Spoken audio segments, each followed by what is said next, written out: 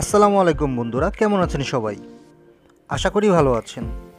দেশ ও দেশের বাইরে থেকে যারা আমার এই ভিডিওটি দেখছেন, আপনাদের সবাইকে আমার নতুন ভিডিওতে স্বাগতম জানাই। আজকে আপনাদের নিয়ে চলে এসেছি শালবন বিহার ও ময়নামতি জাদুঘর দেখাতে। এই দুটি স্থান পাশাপাশি হওয়ায় স্থান দুটি একদিনেই ঘুরে আসা সম্ভব। শালবন বিহার ও ময়নামতি জাদুঘর কুমিল্লা সদর উপজেলার কোটবাড়ি এলাকায় অবস্থিত। আর ঢাকা থেকে যাতায়াত ব্যবস্থা ভালো থাকায় খুব ভোরে ঢাকা থেকে রওনা হয়ে মাত্র আড়াই থেকে তিন ঘন্টায় এখানে পৌঁছে যাবেন। আর সারাদিন ঘুরে ফিরে আবার সন্ধ্যার গাড়িতে রওনা দিলে রাত নয়টা বা দশটার মধ্যে বাসায় থাকতে পারবেন।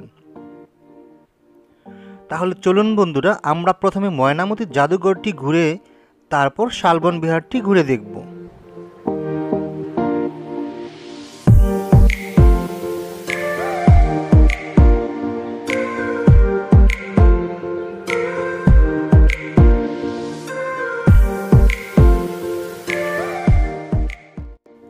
আমি প্রথমেই চলে আসলাম ময়নামতি জাদুঘর দেখতে। অনেককেই দেখলাম টিকিট কাটার জন্য লাইনে দাঁড়িয়ে আছে। আপনারা দেখতে পাচ্ছেন, ময়নামতি জাদুঘরের শীতকালীন ও গ্রীষ্মকালীন খোলা থাকার সময়সূচি। আর আমিও লাইনে দাঁড়িয়ে মাত্র বিশ টাকা দিয়ে ভিতরে যাওয়ার জন্য টিকিট কাটলাম। প্রবেশ গেট দিয়ে ভিতরে প্রবেশ করেই ডান পাশে দেখলাম বহু বছরের পুরনো গাছের ছোট ছোট অংশ। এই গাছগুলি মাটির নিচ থেকে সংগ্রহ করা হয়েছে। আমি ভিতরে ঢুকে বিভিন্ন সাইজ এবং বিভিন্ন রকমের মূর্তি দেখতে পেলাম। আর হঠাৎ করে কে যেন বলল, এখানে ভিডিও করা নিষেধ। তাই আর ভিডিও করা হলো না।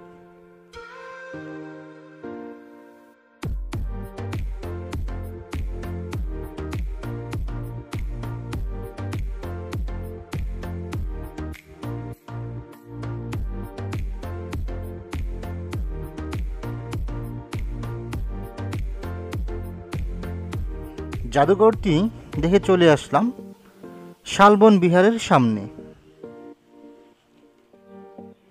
এখানেও দেখতে পেলাম অনেককেই গেটের সামনে দাঁড়িয়ে আছে।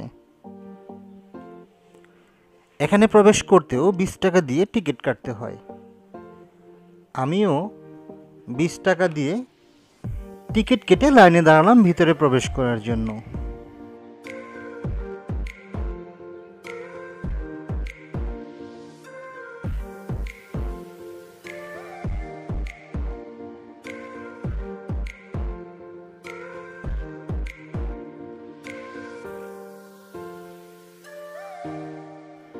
ভিতরে প্রবেশ করেই চারদিকের সবুজ পরিবেশ দেখে মনটা জুড়িয়ে গেল। সামনে এগিয়ে যেতেই শালবন বিহারের ইতিহাসটা দেখে নিলাম। আরও একটি বিষয় হলো, আমি এখন শালবন এর দক্ষিণ দিক দিয়ে ভিতরে প্রবেশ করলেও পূর্বে এর মেন গেট ছিল উত্তর দিকে, যা এই ভিডিওর শেষ অংশে দেখতে পাবে।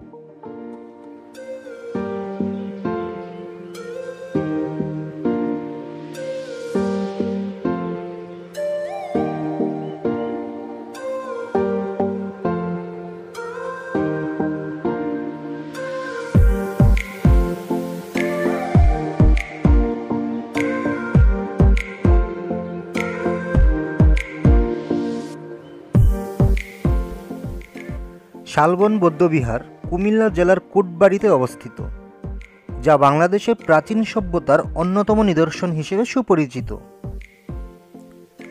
তৎকালীন সময় এই অঞ্চলে শাল ও গজারি বন ছিল বলে বিহারটি শালবন বিহার নামে পরিচিতি লাভ করেছে। শালবন বিহারটি অনেকটা পাহাড়পুর বৌদ্ধ বিহারের মতো, তবে আকারের দিক দিয়ে পাহাড়পুর বৌদ্ধ বিহার থেকে কিছুটা ছোট। কোটবাড়ি এলাকায় আঠারোশো পঁচাত্তর সালে রাস্তা তৈরির সময় একটি ইমারতের ধ্বংসাবশেষ সকলে প্রত্যক্ষ করেন। তখন এটিকে প্রাচীন দুর্গের অংশ হিসেবে ধারণা করা হচ্ছিল।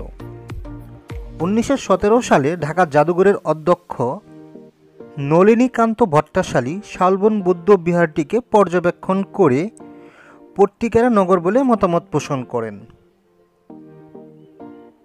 তবে ধারণা করা হয় এই বিহারটি সপ্তম শতাব্দীর শেষ সময়ে দেববংশের চতুর্থ রাজা শ্রীদেব নির্মাণ করেন। বিভিন্ন সময় শালবন বিহারের ছয়টি স্থাপনা নির্মাণ ও পুনর্নির্মাণের কথা জানা যায়। মনে করা হয় অষ্টম শতাব্দীর মধ্যে তৃতীয়বারের মতো কেন্দ্রীয় মন্দির নির্মাণ ও বিহারের সার্বিক সংস্কার হয়। পর্যায়ক্রমে অষ্টম ও নবম শতাব্দীতে চতুর্থ ও পঞ্চমবারের মতো বিহারটি সংস্কার করা হয়। শালবন বিহারটি দেখতে আয়তাকার। এর প্রত্যেক বাহুর দৈর্ঘ্য একশো সাতষট্টি দশমিক ষাট মিটার। চতুর্দিকে বিহারের দেয়াল প্রায় পাঁচ মিটার পুরু এবং বিহারের কক্ষগুলো চারপাশের বেষ্টনী দেয়ালের সাথে পিট করে নির্মিত। বিহারে প্রবেশের জন্য একটি দরজা দেখা যায় যা উত্তর ব্লকের মাঝামাঝি স্থানে অবস্থিত। বিহারের সর্বমোট কক্ষের সংখ্যা একশো পঞ্চান্নটি এবং ঠিক মাঝখানে কেন্দ্রীয় মন্দিরকে চিহ্নিত করা হয়। এসব কক্ষে বৌদ্ধ ভিক্ষুকরা বসবাস করতেন এবং ধর্মচর্চা করতেন বলে মনে করা হয়। কক্ষের সামনের দিকে টানা বারান্দা ও শেষ প্রান্তে দেয়াল দেখা যায়। প্রত্যেক কক্ষের দেয়ালে প্রতিমা বা তেলের প্রদীপ রাখার তিনটি করে কুলঙ্গি রয়েছে। অন্য পাশে চারটি বিশাল স্তম্ভের ওপর নির্মিত একটি হলঘর দেখা যায়। ধারণা করা হয় এই হলঘরটি ভিক্ষুকদের খাবারের জন্য ব্যবহার করা হতো। বিভিন্ন সময় প্রত্নতাত্ত্বিক খনন কার্যক্রমের মাধ্যমে শালবন বিহার থেকে প্রাপ্ত চারশোটি স্বর্ণ ও রৌপ্য, ব্রোঞ্জ ও মাটির মূর্তি আটটি তাম্রলিপি, সিলমোহর, অসংখ্য পোড়ামাটির ফলক বা টেরাকোটা উদ্ধার করা হয়। এসব নিদর্শনের সিংহভাগই ময়নামতি জাদুঘরে প্রদর্শিত হচ্ছে।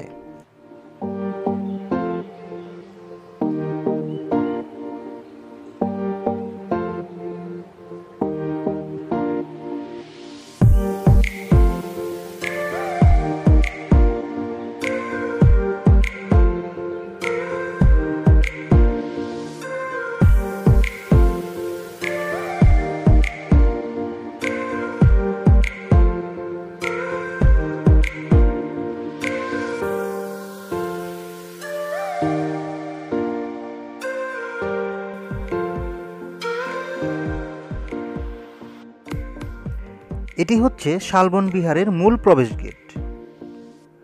পূর্বে এই গেটটি ব্যবহার করা হতো যাওয়া আর আসার জন্য। একসময় এই গেট দিয়ে হাজার হাজার লোকজন যাওয়া আসা করলেও এখন এই গেটটি বন্ধ রয়েছে। গেটটির ডিজাইন অনেক সুন্দর। দুই পাশে দুটি করে মোট চারটি ফুলের নকশা করা হয়েছে। আর গেটের দুই পাশের পিলারে বিভিন্ন রকমের ফুল ও পশু পাখির ছবি আঁকা রয়েছে। তুলনামূলকভাবে অন্যান্য স্থাপনার চেয়ে গেটটির অবস্থা ভালোই বলা যায়।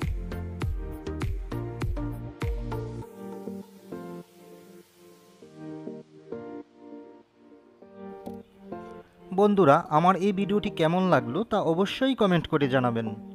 আর যদি ভালো লেগে থাকে, তাহলে একটি লাইক দিতে ভুলবেন না। আর ভালো না লেগে থাকলে একটি ডিসলাইক দিবেন। বন্ধুরা, আরও একটি রিকোয়েস্ট যারা এখনও আমার চ্যানেলটি সাবস্ক্রাইব করেননি, তারা চ্যানেলটি সাবস্ক্রাইব করে পাশে থাকা বেল বাটনটি অন করে দিবেন। যাতে করে পরবর্তী ভিডিও দেওয়ার সাথে সাথেই আপনি নোটিফিকেশন পেয়ে যান। আর যারা ইতিমধ্যে আমার চ্যানেলটি সাবস্ক্রাইব করেছেন, তাদেরকে জানাই আমার পক্ষ থেকে অনেক ধন্যবাদ। পরবর্তী ভিডিও দেখার আমন্ত্রণ জানিয়ে আজকের মতো বিদায় নিচ্ছি। সবাই ভালো ও সুস্থ থাকবেন। আল্লাহ হাফেজ। আসসালামু আলাইকুম।